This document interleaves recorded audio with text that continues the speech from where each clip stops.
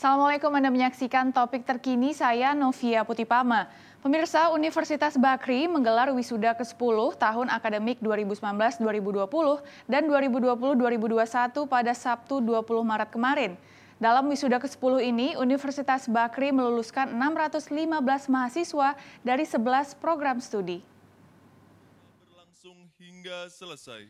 Dalam wisuda ke-10 Universitas Bakri yang digelar secara daring, Rektor Universitas Bakri, Profesor Insinyur Sofia W. Ali Syahbana, MSc PhD, menyatakan lulusan Universitas Bakri siap bersaing, berkolaborasi, dan memberikan kontribusi yang optimal di berbagai sektor.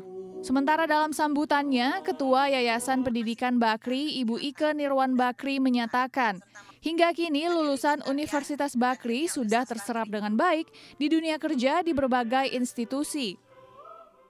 Sejauh ini, alumni Universitas Bakri sudah tersebar di berbagai institusi swasta maupun pemerintahan, nasional maupun multinasional, di berbagai bidang industri kerja.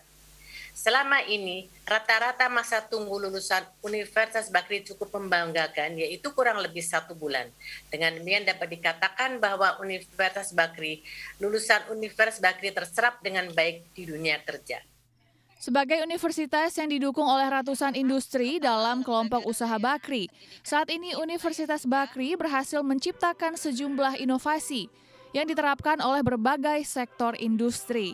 Sejumlah peneliti Universitas Bakri pun terlibat aktif dalam program community development di beberapa perusahaan kelompok usaha Bakri. Pemirsa demikian topik terkini, saksikan topik terkini selanjutnya. Saya Novia Putipama, wassalamualaikum.